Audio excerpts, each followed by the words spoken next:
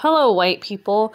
Race and sex bias in medicine. How medicine discriminates against non who white people and women.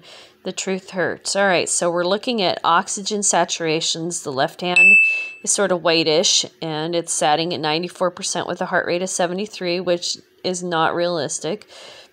And then the person on the right has a black hand and uh, their pulse oximeter says finger out.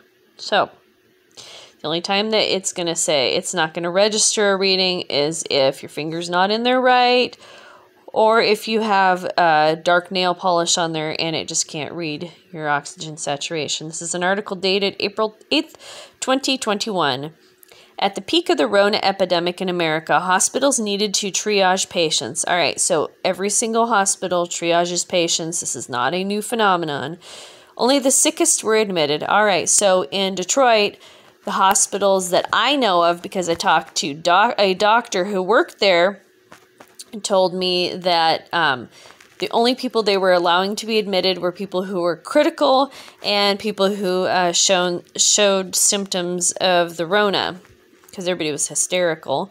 They were turning away people with chest pain, heart problems, uh, stroke, um, broken bones. They believe it or not, this is this is just an unbel- I expect Detroit hospitals to be sued out of uh, existence after this nonsense, but they were given referrals to go see. Um, so they were given a referral. So basically, they had to go home, call up the you know like the orthopedist. Um, or uh, you know the cardiologist or whatever set an appointment and go see them about a broken bone or heart attack or anything like that because they were not seeing anybody unless they were critical or had signs of the Rona. And then also, when I was in a grocery store, I was in an Aldi in Michigan in a little town just north of Detroit, and I wasn't going to wear a face diaper. No way on earth was I going to wear a face diaper. So everywhere I went, in this little town in Michigan. I did not wear a face diaper. A lot of people were wearing face diapers, but I wasn't going to wear one. Anyway, so I'm at the checkout line in Aldi and I don't have a face diaper on. I'm naked face. And this lady with a diaper on her face, she takes it off and she goes, Oh, I hate this thing.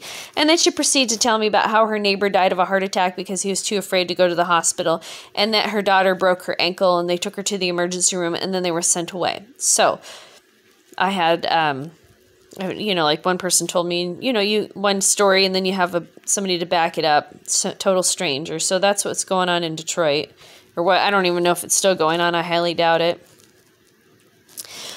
One measure used to determine the severity of an individual's illness was his blood oxygen level. Okay, so a blood oxygen level is no different than a blood pressure, a temperature, you know, measuring somebody's heart rate, their respiratory rate.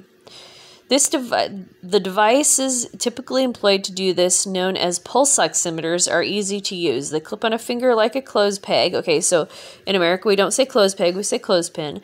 Regrettably, they record some darker skinned patients as being healthier than they really are. I call horseshit.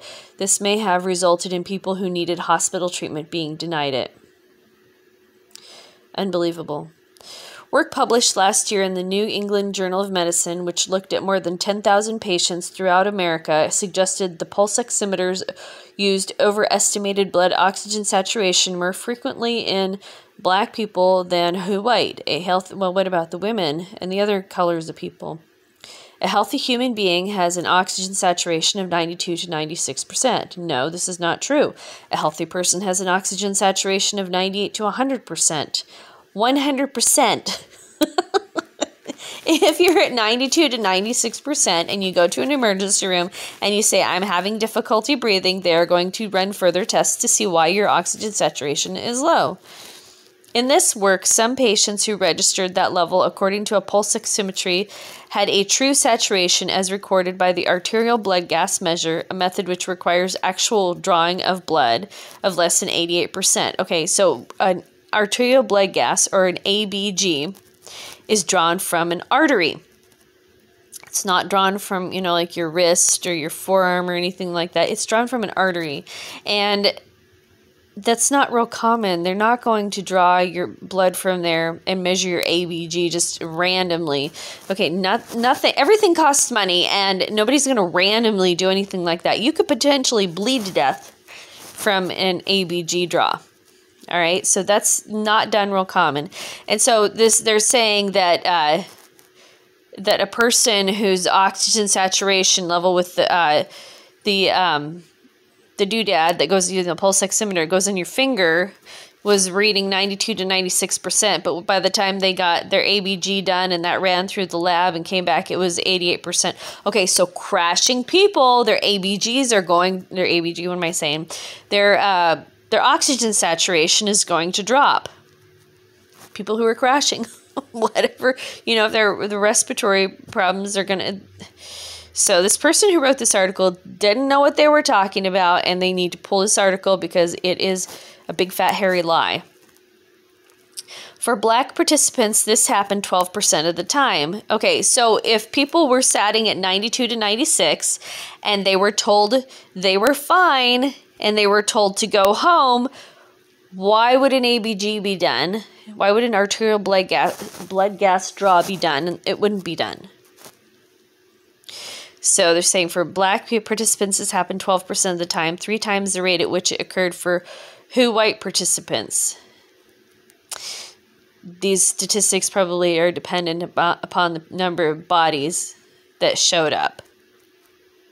So, say for example, uh, 12% of all patients that came through with respiratory issues were black people, then and they all had you know like similar they similarly needed uh, they similarly came in, you know, with an oxygen saturation of 92 to 96, and then later um, and because their respiratory status was declining, they needed an ABG.